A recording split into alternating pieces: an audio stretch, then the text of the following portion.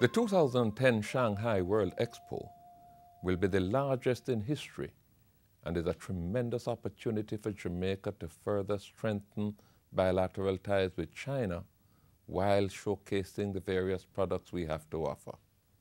Jamaica and China have a long history of friendship. We invite everyone to visit our pavilion and savor our culture, tourism products, goods and services, and warm hospitality.